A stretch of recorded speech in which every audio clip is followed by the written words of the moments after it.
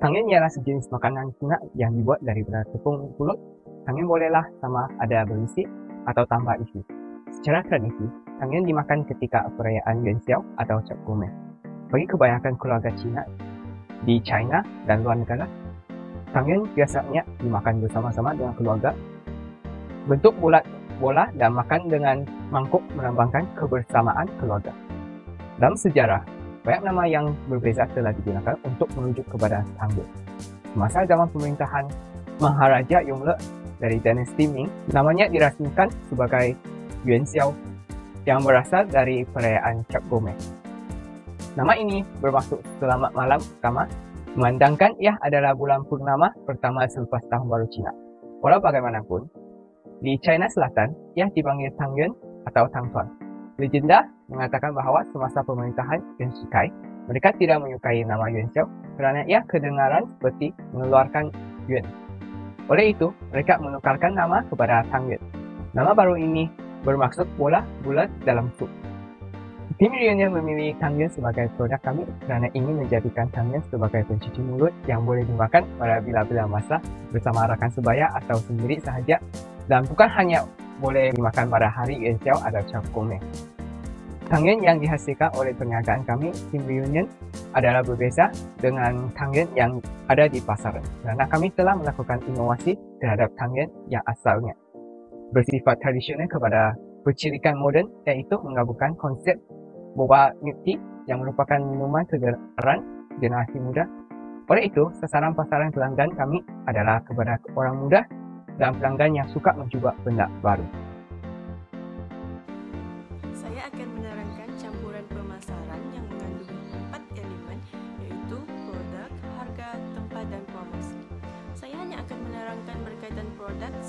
Selebihnya akan diterangkan oleh rakan saya. Produk Teng Yuen Union Shop menawarkan perisai Teng Yuen yang berbeza daripada perisai tradisional iaitu red bean paste, peanut dan black sesame yang diperbuat daripada tepung beras dan air. Manakala, produk Ting Yun Reunion Shop menawarkan perisa boba yang diperbuat daripada boba yang berkualiti tinggi dan tepung beras.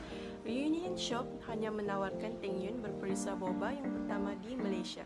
Hal ini kerana Reunion Shop menyasarkan golongan muda yang mempunyai cita rasa yang unik. Ting Yun boba mengandungi inti boba yang kenyal dan lembut serta kaya dengan perisa gula merah, kuah yang berperisa teh susu, manis dan menyegarkan. Tinggian perisa boba yang dihasilkan oleh Reunion Shop menjadi pilihan golongan muda yang gemar dengan cita rasa yang unik. Ini adalah pembungkusan bagi Teng Yuen yang dihasilkan oleh Reunion Shop. Salam sejahtera kepada semua. Nama saya ialah Shirley Chang Qing Li. Hari ini saya akan membentangkan harga tangan tersebut. Harga bagi sebungkus tangan tersebut adalah AM sepas ringgit 96 sen. Harga tersebut ditetapkan melalui kos bahan yang digunakan seperti tepung beras, air, teh dan susu. Jumlah kos bahan mentah yang digunakan adalah AM 3 ringgit 20 sen. Seterusnya, harga tersebut juga ditetapkan melalui kos bulu langsung iaitu AM 2 ringgit 73 sen dan kos overhead seperti belanja utility, belanja sewa, belanja susut nilai mesin dan pembungkusan. Jumlah kos overhead adalah AM3.27 sen. Bagi jumlah kos pengeluaran seunit tangan adalah AM9.20 sen.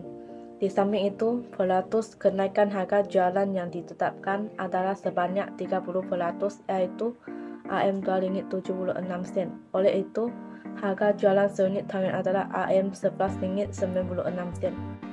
Harga yang ditawarkan oleh linear shop adalah berpatutan. Melalui harga tersebut, setiap isi rumah yang mempunyai pelbagai tingkat pendapatan mampu membeli tangan tersebut. Terusnya ialah tempat. Perniagaan kami menjalankan perniagaan secara atas talian iaitu e-perniagaan. Hal ini disebabkan oleh e-perniagaan memudahkan pelanggan untuk membeli produk kami. Pembelian secara atas talian boleh dilakukan dengan melayari Reunion Shop di aplikasi Shopee, Lazada dan Instagram. Untuk mendapat maklumat lanjut dan perkembangan terkini perniagaan kami, anda boleh melayari di laman web rasmi kami dan Instagram kami. Anda juga boleh menghubungi kami di hotline kami iaitu 088 200 1016. Selain itu, sasaran pelanggan perniagaan kami ialah generasi muda.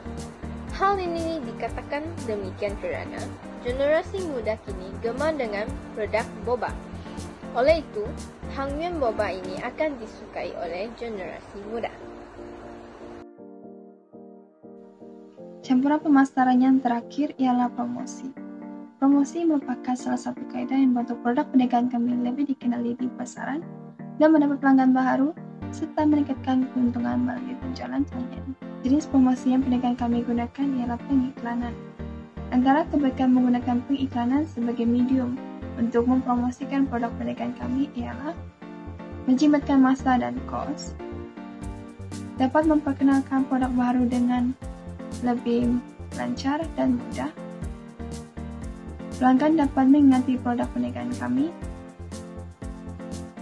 dapat meningkatkan image dan nama perniagaan, dan akhir sekali, maklumat mudah didapati dan diakses oleh pelanggan. Oleh itu, perniagaan kami Reunion Shop, kami menjalankan promosi beli dua percuma satu, yaitu daripada harga sebenar RM23.90 dan kini hanya RM18 sahaja. Promosi ini dijalankan adalah sempena Tahun Baru Cina 2023 dan bermula pada 4 Januari 2023 dan berakhir pada 15 Februari 2023.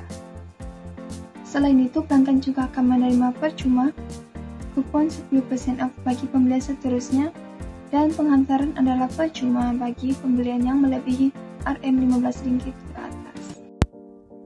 Seterusnya, segmentasi pasaran perniagaan kami di Union Shop dengan menggunakan segmentasi pasaran berdasarkan demografi, yaitu memetakan pengguna kami dengan cita rasa, jantina, umur, pendapatan, dan agama.